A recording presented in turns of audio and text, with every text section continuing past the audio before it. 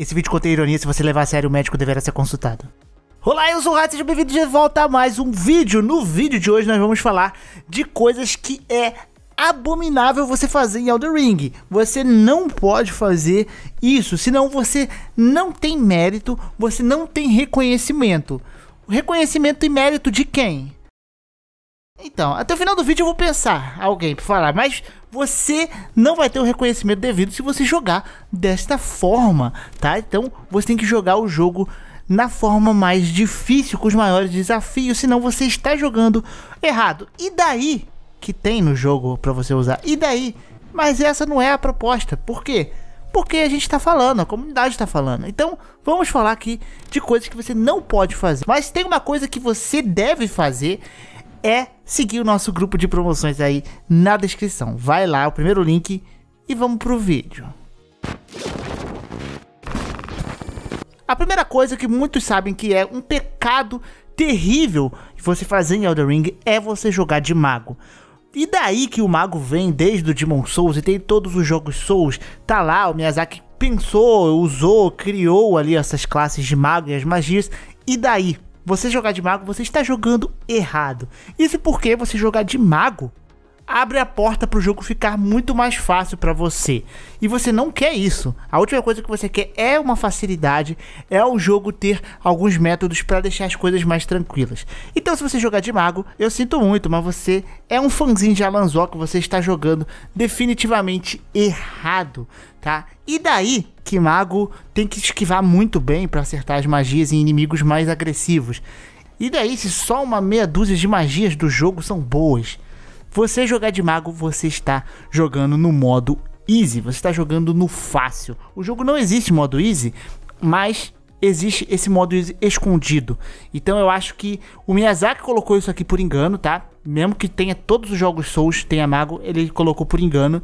E não é a forma correta de você jogar o jogo. Você tem que usar espadão, você tem que usar machadão, você tem que usar armas aí de brabo. Armas de brabo, entendeu, nobre? Se você não usar suas armas, você está devidamente errado. Joga o jogo fora. Outra coisa que o próprio Miyazaki pegou e tirou no Sekiro, ele tentou lutar contra o sistema, contra o establishment para isso e conseguiu no Sekiro, que é o caso de você fazer co-op, invocar amiguinhos para te ajudar. O Miyazaki piorou isso ainda, né? Ele provavelmente se rendeu a essas cartilhazinhas do jornalistinha ali e colocou agora summons para você utilizar dentro do jogo. E vocês sabem que é definitivamente errado você usar summons dentro do jogo. Não pode, tá? Os summons estão lá para usar? Estão, mas é um negócio para testar a sua vontade, testar se você é fraco ou não, entendeu? Então, a partir do momento que você usa esses summons, você está dando esse atestado, falando: olha, sou fraco, não sei jogar o Ring direito, não tenho mérito, vou deletar o meu jogo porque eu não mereço apreciar essa obra de arte jogando usando summons. Os summons deixam o jogo muito mais fácil. Meu amigo, se você está usando mímica, então, nossa Sai daqui, mano. Sai daqui. Não quero você aqui, não. Não use summons. Está totalmente errado. Você tem que jogar sozinho. Você tem que tentar 250 vezes passar pelo boss, por mais impossível que ele pareça ser pro seu estilo de jogo. Você não pode ter ajudinha nenhuma que joguinho colocou ali. Não há mérito nisso, é uma vergonha você fazer isso e o Sumos mostra isso, tá? E a mesma coisa, óbvio, que vale pro co-op, porque você vai chamar seu amiguinho ou um cara desconhecidinho ali que já tá fortinho para te ajudar, vai tirar total graça do seu jogo, o seu jogo vai ficar chato, vai perder ali o senso de dificuldade, então não usem essas coisas que já estão no jogo para serem usadas. Não recomendo porque você vai estar passando vergonha perante muitos da nossa comunidade. Outra coisa que se eu olho na esquina, se eu olho que tá passando na rua por mim, eu atravesso a rua para não andar na mesma calçada desse cara. Que são os caras que usam a rios de sangue, Rivers of Blood. Cara, Sinceramente, sai daqui, velho, se você usa isso. Eu não quero conversar com você, tá? Se você já cogitou em usar ou você usa a Rivers of Blood, você é a maior vergonha que tem, tá? É uma arma muito forte e o sangramento dela aplica muito, deixa o jogo totalmente no modo easy. Então, mano, eu tiro o seu mérito total. E daí, se você joga o jogo, sei lá, usando apenas um dedo e você consegue derrotar o boss. Se você está usando a Rivers of Blood, você perdeu seu mérito. Se você zera no tapete de dança, mas você está usando uma Rivers of Blood, por exemplo, você perdeu o seu mérito. Não interessa ali se você está usando um controle totalmente diferente, um controle alternativo. Você usou Rivers of Blood, automaticamente seu argumento foi anulado. Ah, mas Rivers of Blood, argumento anulado.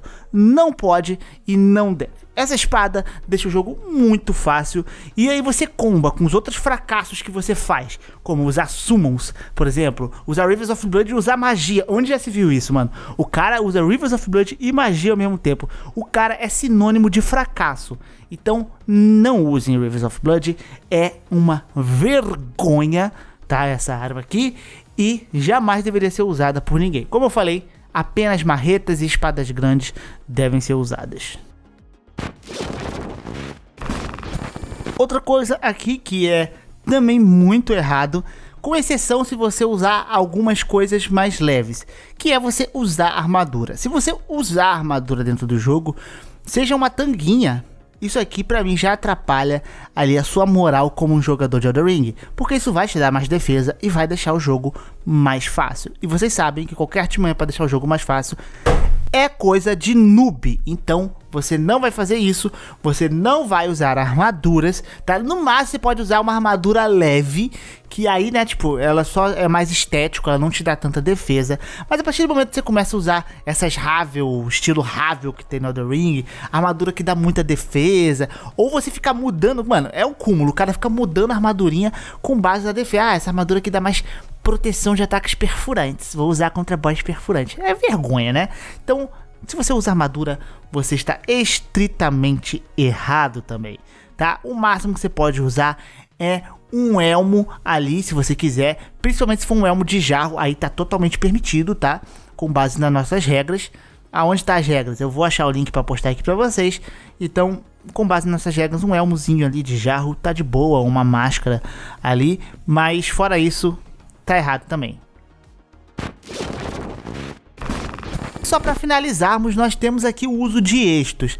Pois é, primeira coisa, você está sendo invadido e você usa estos, você é uma vergonha. Você é vergonha. E daí que você só tá jogando, você não quer fazer um PVP ali, você não quer lutar, você tá cheio de alma, você só quer progredir no jogo e o cara te invade. Como assim você vai usar estos e deixar o cara te derrotar?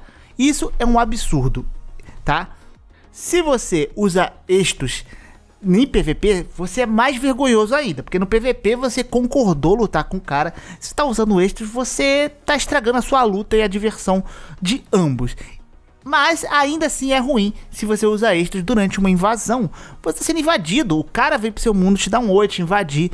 Você tem que brincar com o cara. E daí? Que é o seu mundo, as suas regras. Não, não existe isso, tá?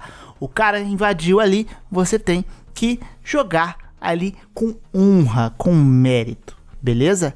Então é isso. Isso aqui são coisas que você não pode fazer em Elden Ring e se você faz, você é uma vergonha para a comunidade Souls.